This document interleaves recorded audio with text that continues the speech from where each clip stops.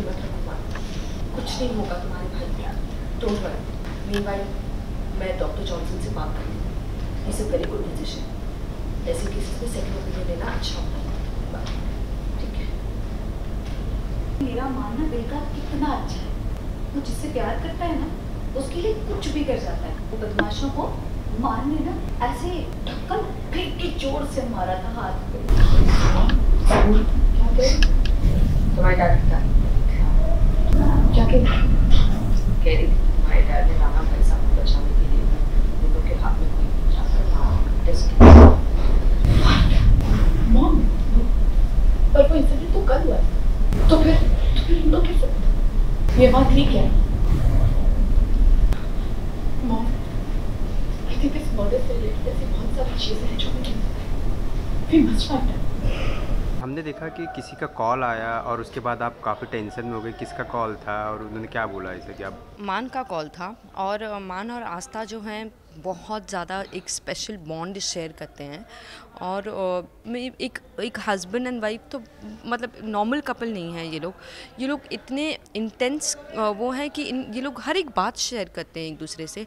और कहीं ना कहीं मान की इनसिक्योरिटीज़ आस्था की इनसिक्योरिटीज़ दोनों एक दूसरे को कैसे समझते हैं, हिम्मत देते हैं तो वही बात हो रही थी कि मान बहुत डरे हुए हैं राणा भाई साहब को लेकर।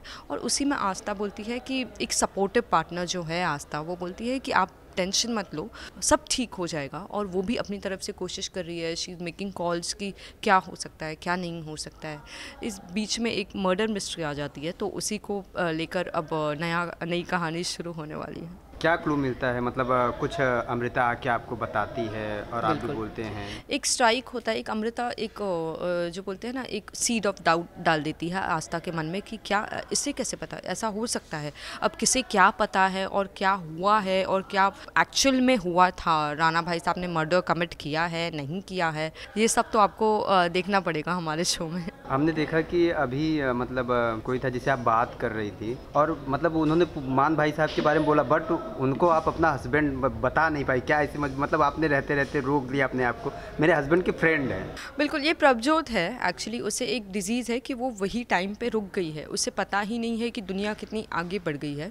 आस्था बीन अ डॉक्टर फिर चाहे वो अ, मुझे पता है प्रभजोत और मान का क्या यू नो रोका हो गया था और यू नो कमिटेड हो गए थे।